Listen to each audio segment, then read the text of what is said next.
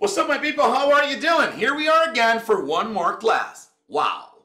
Só que agora você vai ver essa aula e você vai ver a próxima e você vai ver a próxima e você vai pensar, cabia tudo numa aula só.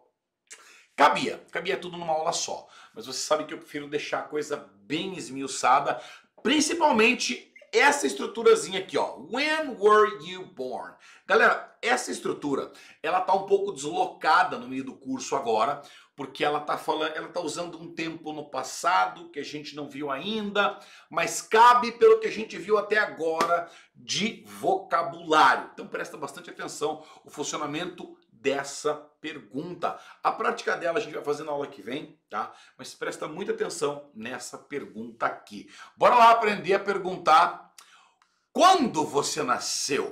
Mas primeiro, claro, se você não está inscrito no canal ainda, se inscreva aqui no canal do Cultive, deixa o like no vídeo para o YouTube entender que isso aqui é importante, que vai ajudar muita gente. E, claro, clica no sininho para receber as notificações. E vamos pedir mais uma coisa, né? Pega isso aqui, manda pra galera. A Cultive não tem só o inglês, vocês sabem, tem mais de 80 cursos e vão aprender junto. E óbvio, se você quer dar aquele plus no teu inglês, me acompanha no Instagram, toda semana tem coisa nova. Me acompanha aqui no YouTube também, que inclusive no YouTube tem aulas ao vivo duas vezes por semana. Aulas grandes, hein? Uma hora e meia, duas horas de aula, toda segunda e toda quinta-feira. Então cola aqui que você vai aprender muita coisa. Bora lá, galera, vamos entender essa pergunta. When were you born? Pessoal, é o seguinte, o verbo nascer, em inglês, ele não é born, tá? Então eu não posso dizer só o born. O verbo nascer, ele é to be born. Então ele é uma estrutura. O que, que acontece? Então eu tenho que trabalhar esse verbo to be. Por isso que tem essa palavrinha nova ali para você, ó, que é o were. O when você já tinha visto comigo. You tá tranquilo. Agora você tem o born, que você sabe que é nascido, e esse were ali. Galera, aquele were, ele é o passado do verbo ser ou estar, do verbo to be, tá? Então a gente já sabe que a gente vai ter que flexionar um verbo. Então talvez você entenda por que, que eu resolvi distribuir essa aula em três aulas diferentes. Então vamos lá. Se eu te pergunto, when were you born? A minha pergunta é, onde você foi nascido? Eu não tenho como perguntar, aliás, eu não posso perguntar, when did you born?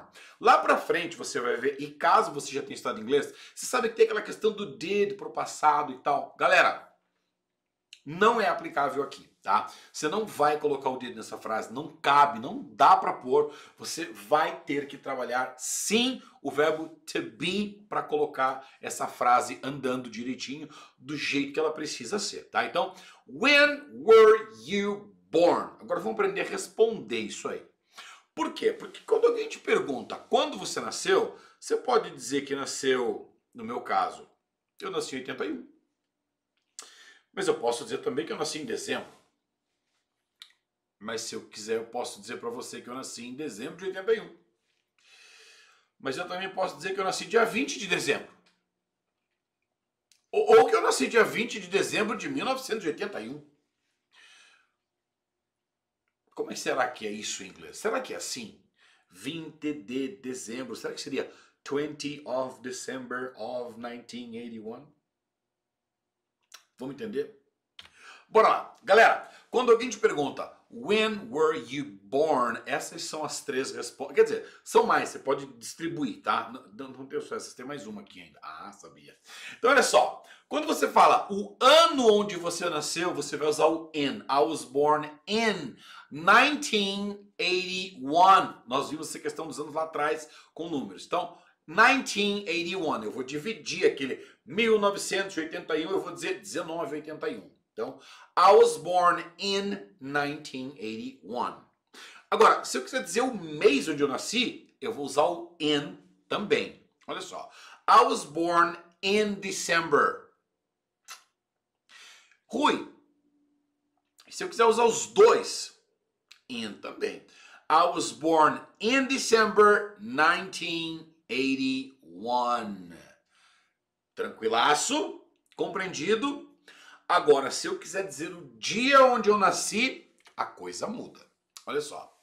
I was born on December 21st. 21st? Ah, então foi por isso que você ensinou os ordinal numbers ali na, na aula anterior? Ah, pegou, né? Galera, eu não posso dizer dia 21. Se você disser, eles até vão entender, mas vai ficar um pouco esquisito. A melhor maneira de você, a maneira mais correta para você responder a pergunta, quando você nasceu, é essa que você está vendo aqui, ó. I was born on December 21st. Morreu. Posso colocar o ano. I was born on December 21st, 1981. Essa de baixo é a melhor de todas as respostas. Rui, tá errado então eu dizer só I was born in December? Não. I was born in 1981? Não. Você pode dizer, mas a resposta mais completa, mais perfeita, tá aqui, tá? I was born on December 21st, 1981. Agora, eu quero perguntar para você. Aliás, não, faltou um negocinho. Repete comigo. When were you born? Okay, I was born on December 21st. Good. I was born on December 21st, 1981. Maravilha! Como é que eu vou praticar isso aí, Rui? Você quer um conselho? Você faz o seguinte: pega toda a tua família, escreve a data de nascimento de cada um deles, mas escreve assim, ó, maneira americana: o mês, o dia e o ano, tá? Escreva dessa maneira e pratique com o espelho, tá? When were you born? Como se você fosse nascer em todas aquelas, como se você tivesse nascido em todas aquelas datas, só para praticar. Rui, todo mundo lá em casa nasceu em novembro, então eu só vou praticar novembro. Tem um negócio chamado imaginação. Né? Você pode criar, crie várias datas e faça essa prática, tá? Rui, mas como é que eu vou repetir todos eles para saber as pronúncias direitinho? Você já teve aqui uma aula explicando sobre meses do ano. Então, tem todos os meses. Já teve uma aula explicando sobre os números ordinais. Não tem desculpa. É só praticar. Se você quiser, você com certeza consegue. Maravilha? Galera, hoje eu precisava explicar esse pequeno detalhe para você. Quando se pergunta onde, ah, quando você nasceu, olha, eu ia falar onde você nasceu. Spoiler de uma aula aí para frente. Quando você quiser perguntar quando você nasceu, a pergunta é essa aí. Quando você foi nascido? Não se preocupa se ficou um pouquinho bagunçado. A aula que vem a gente vai trabalhar com mais pessoas essa pergunta e a gente, obviamente, vai revisar isso aqui. Te espero na aula que vem.